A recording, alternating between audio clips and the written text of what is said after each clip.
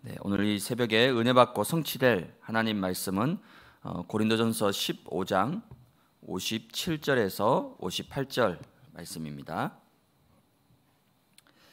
고린도전서 15장 57절에서 58절까지 제가 봉독해 드리겠습니다. 우리 주 예수 그리스도로 말미암아 승리를 주시는 하나님께 감사하노니 그러므로 내 사랑하는 형제들아 견실하며 흔들리지 말고 항상 주의 일에 더욱 힘쓰는 자들이 되라.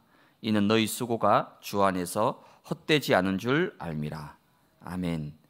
네, 오늘 이 새벽에는 어, 승리를 주신 하나님께 감사하노니란 제목으로 어, 잠시 말씀을 함께 나누겠습니다. 어, 선으로 악을 이기는 삶을 통해서 악에게 지지 말고 선으로 악을 이기라 말씀하셨습니다. 어, 이 세상에서의 싸움은 결국 선과 악의 싸움입니다. 즉 복음과 창세기 3장과의 싸움입니다. 겉으로 보면 뭐 여러 가지 육신적인 것, 또 건강, 경제, 눈에 보이는 싸움인 것 같은데 실제 싸움은 그게 아닙니다. 복음이냐 아니면 창세기 3장이냐 그 두 가지의 싸움입니다. 근데 결과는 분명히 복음이 이기게 돼 있습니다.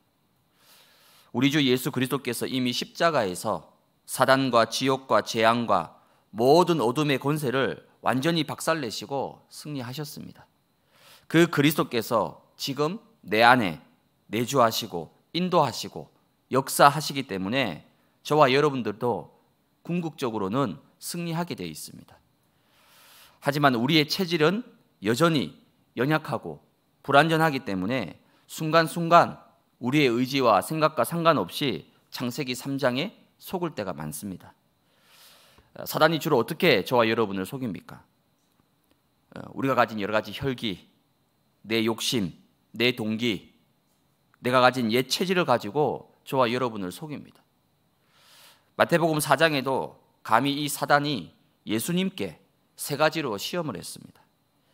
근데 예수님께서 이 사단의 시험을 어떻게 물리치고 이기셨습니까? 우리에게 보여주셨죠.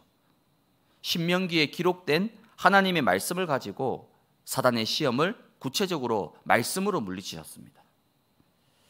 선으로 악을 이기는 것 어쩌면 쉽지 않습니다. 물론 선으로 악을 이겨야 되지만은 우리의 체질과 우리의 영적인 상태를 봤을 때 선으로 악을 이기는 것은 쉽지 않아요. 우리가 복음 다 알죠. 그리스도 압니다. 기도해야 된다는 것도 압니다. 말씀 붙잡아야 된다는 것도 알고 하나님의 인도를 받아야 된다는 것도 다 알고 있습니다. 근데 막상 문제와 사건과 어려움을 겪으면요. 선으로 악을 이기는 것이 아니라 어쩌면 악으로 악을 악으로 악을 이기는 것이 훨씬 더 쉽습니다. 세상 불신자들이 그렇게 살아가고 있습니다. 내가 가진 열심과 내가 가진 방법과 내용을 가지고 그래서 수단 방법 가리지 않고 어떻게 해서든지 이기면 됩니다. 그게 세상의 방법이죠. 우리는 악으로 악을 이기는 게 더 쉬운 체질로 되어 있습니다. 하지만 그것은 사단이 가장 원하는 모습입니다. 창세기 45장에 보면 요셉이 자신을 돈을 받고 팔은 노예로 팔아버린 형들을 이제 드디어 애굽의 총리가 되어 가지고 자신의 눈앞에 형들을 세워놓고 마음만 먹으면 충분히 그 형들을 벌하고 심판하고 복수할 수 있습니다. 근데 요셉이 어떻게 했습니까? 악으로 악을 갚은 것이 아니라 오히려 선으로 악을 이겼습니다. 형들이 나를 판 것이 아니다. 걱정하지 마라. 하나님이 나를 먼저 앞서 보내셨다. 요셉이라고 왜 감정이 없겠습니까? 요셉이라고 왜 상처가 없겠습니까? 요셉이라고 왜 억울하고 분하고 쌓인 게 없겠습니까? 근데 그 중요한 순간에 악이 아니라 선으로 복음으로 이긴 것입니다. 아무 잘못도 없는 다윗을 죽이기 위해서 사울이 창을 던졌고요. 그리고 수백 명의 군사를 이끌고 끊임없이 목숨을 위협했던 그 사울 왕을 다윗이 마음만 먹으면 얼마든지 제거할 수 있습니다. 다윗은 백정용사입니다. 다윗은 돌 하나로 어마어마한 골리앗을 꺾은 장수 중의 장수고 실은 킬러입니다. 다윗은 수많은 사람들을 전쟁에서 죽였던 사람입니다. 사울 왕 마음만 먹으면 얼마든지 단칼에 없앨 수 있습니다. 또 그런 기회가 찾아왔죠. 굴에서 자고 있는데 밤에 눈을 떠보니까 옆에 사울 왕이 누워 있습니다. 완전 절호의 찬스죠. 한 방이면 없앨 수 있습니다. 근데 다윗이 어떻게 합니까? 끝까지 손을 대지 않습니다. 하나님의 절대 주권을 믿고 하나님이 세우신 왕을 내가 어떻게 내 감정 때문에 내 복수심 때문에 내 상처 때문에 어떻게 내가 감히 할 수 있느냐? 모든 것을 하나님 손에 맡기고 오히려 사울을 피해서 도망 다녔습니다. 악으로 악을 이기면 순간적으로는 이길 수 있습니다. 근데 결국은 지는 겁니다. 결국은 실패하는 겁니다. 그래서 로마서 12장 21절에는 악에게 지지 말고 라고 얘기합니다. 무슨 말입니까? 하나님은 저와 여러분들이 하나님이 주신 방법으로 하나님이 주신 것을 가지고 악을 이기고 그 속에서 오직 여호와의 뜻인 생명 살리고 전도와 성교의 언약을 성취하는 진정한 승리자의 삶을 살기를 원하십니다. 오늘 이 새벽에 복음으로 모든 것을 초월하고 뛰어넘어서 진정한 선으로 승리하는 우리 예원의 가족들이 되시기를 주님의 이름으로 축원을 드립니다. 첫 번째는 결론난 인생입니다. 오늘 고린도전서 15장 57절에 보니까 승리를 주신 하나님께 감사한다라고 바울이 고백합니다. 바울은 지금 승리를 하고 나서 그리고 승리를 한 후에 고백하는 것이 아닙니다. 승리하기 전에 이미 승리할 것을 알고 승리할 것으로 결론을 내리고 미리 하나님 앞에 감사의 고백을 하고 있는 겁니다. 저와 여러분들은 이미 결론 난 인생입니다. 어떤 결론입니까? 저와 여러분들은 오직으로 결론 난 인생입니다. 어떤 문제, 어떤 어려움 와도 괜찮습니다. 분명한 확실한 답을 가지고 있기 때문에 괜찮습니다. 어떤 답입니까? 오직 그리스도. 마태복음 16장 16절에 주는 그리스도시요 살아계신 하나님의 아들이십니다. 이때 너는 베드로라. 이 반석 위에 내 교회를 세우리니 음부의 권세가 너를 이기지 못할 것이다. 그 어떤 문제도 그 어떤 어려움도 여러분 안에 있는 여러분과 함께 하시는 그리스도보다는 강하지 않습니다. 내 안에 계신 그리스도를 절대 이기지 못합니다. 요한복음 19장 30절에 다 이루었다. 다 해결하셨습니다. 다 끝내셨습니다. 더 이상 저와 여러분이 해결할 것이 없다니까요. 갈보리 산에서 확실한 분명한 승리를 이미 우리에게 주셨습니다. 그리스도로 결론 내리는 순간 드디어 하나님의 나라를 누리게 됩니다. 우리는 주로 문제가 있다, 문제가 없다, 상황이 좋다, 상황이 안 좋다, 일이 잘 된다, 일이 잘 안 된다, 항상 이렇게 이분법적으로 생각을 합니다. 이런 걸로 인해서 된다, 안 된다, 좋다, 싫다, 이런 걸로 인해서 우리의 영적 상태와 기분과 감사가 늘 왔다 갔다 합니다. 그러면 늘 바람에 흔들리는 갈대처럼 이번에 보니까 뭐 바람에 흔들리는 갈대가 아니라 막 태풍에 막 나무가 뿌리채 뽑혀 나가는 그런 불안불안한 위태위태한 삶을 살아가게 되는 거죠. 복음 가진 여러분들은 언약의 여정 속에 있기 때문에 복음 안에 있는 사람은 쉽게 일비일비하지 않습니다. 쉽게 좋았다가 또 금방 안 좋았다가 어떤 날은 할렐루야 갈보리산에 올라갔다가 10분도 안 돼서 바로 불신앙하고 낙심하고 바닥을 치고 그러지 않습니다. 언약의 여정 속에 있다라면 결국은 승리합니다. 복음 가진 사람의 삶의 기준과 가치가 다르기 때문입니다. 불신자처럼 눈에 보이는 것에 왔다 갔다 하고 그렇게 살지 않습니다. 그리고 우리의 삶의 불명한 결론 예, 사도행전 1장 8절 바로 오직 성령 충만입니다. 이 성령 충만이 맞다라면 더 이상 뭔가 다른 것이 더 필요하지 않습니다. 이미 다 주셨습니다. 마태복음 28장 18절에는 하늘과 땅의 모든 권세, 하늘에 있는 권세, 땅에 있는 권세, 우리에게 이미 다 주셨다라고 말씀하셨습니다. 성령 충만 속에 여러분에게 필요한 모든 힘과 능력 다 들어 있습니다. 여러분 이제 비타민 많이 챙겨 드시죠? 비타민 C가 이제 대표적인데 근데 비타민은 C 말고도 A, D, E 우리 몸에 꼭 필요한 필수 비타민 많이 있습니다. 이걸 다 한꺼번에 섭취하려 그러면 뭐 하루에 수십 알을 먹어야 되는 거죠. 근데 한 알이면 됩니다. 우리 몸속에 꼭 필요한 비타민이 골고루 다 함유되어 있는 종합 비타민제가 있습니다.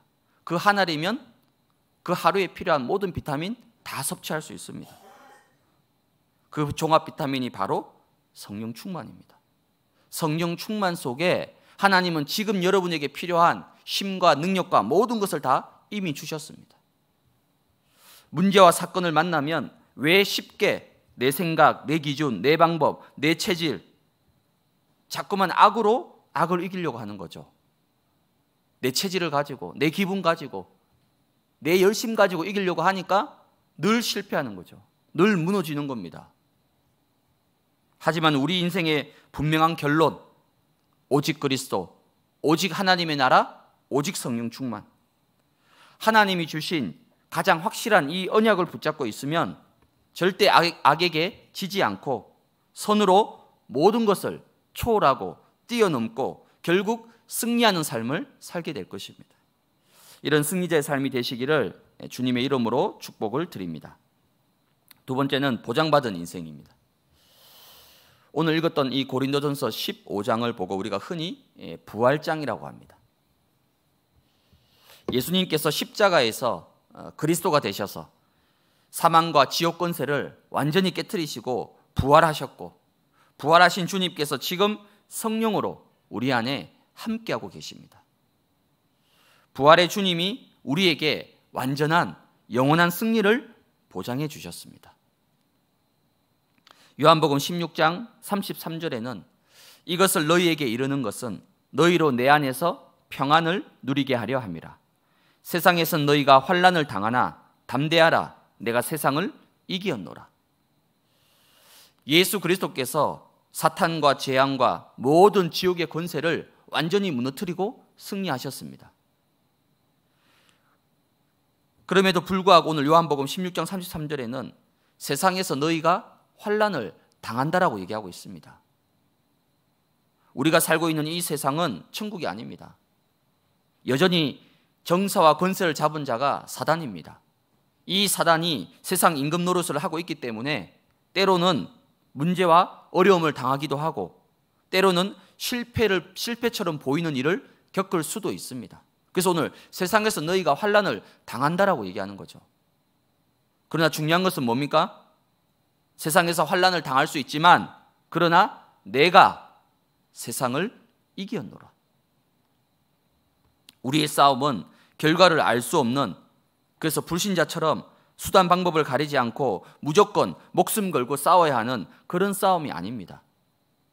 이미 이겨놓고 싸우는 싸움입니다. 이미 승리가 보장된 미래가 보장된 싸움입니다. 로마서 8장 37절에는 그러나 이 모든 일에 우리를 사랑하신 이로 말미암아 우리가 넉넉히 이기느니라. 아슬아슬하게 겨우 뭐 망하지 않을 정도로 실패하지 않을 정도로 그렇게 하지 않습니다. 우리 믿음이 아슬아슬하게 겨우겨우 죽지 않을 만큼 겨우 버티고 사는 그게 우리의 믿음이라서 그렇지 우리가 그렇게 인도받아서 그렇지 하나님은 우리에게 주신 승리는요 분명하고 확실합니다. 넉넉히 이긴다. 충분히 이기고도 남는다.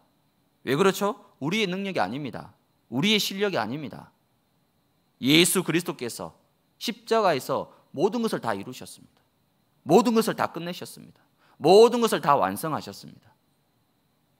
십자가의 부활로 말미암아 저와 여러분들은 이미 영생이 주어졌고 천국을 보장받은 사람들입니다.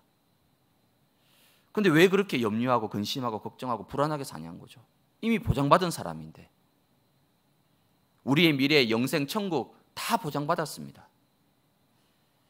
그래서 초대교회는 죽음 앞에서도 다니엘은 사자굴 앞에서도 사드랑 메삭 아벤누고 세 친구는 풀무불 앞에서도 전혀 흔들림이 없고 갈등이 없었습니다. 왜 그렇죠? 이미 보장받았기 때문에. 이미 영원, 영원한 것을 소유했기 때문에. 오늘 이 새벽에 여러분들을 염려하고 근심하게 만들고 걱정하게 만드는 것이 과연 무엇입니까?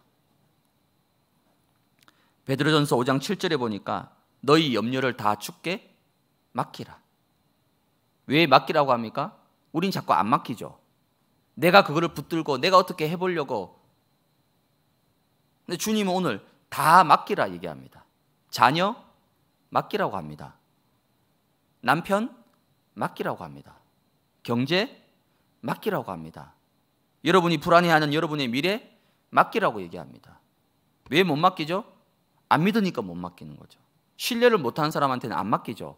하지만 내가 정말 신뢰하는 사람에게는 모든 걸 맡길 수 있습니다. 오늘 죽게 다 맡겨라. 왜 맡기라고 합니까? 이는 그가 너희를 돌보십니다. 하나님이 돌보신다는 거죠. 이거보다 더 확실한 게 어디 있습니까? 하나님이 네 자녀를 돌보겠다는 거죠. 하나님이 네 남편을 돌보겠다는 겁니다. 하나님이 너의 건강과 너의 모든 경제 미래 내가 돌보겠다. 그보다 더 확실한 방법이 어디 있습니까? 그래서 맡기라 얘기합니다.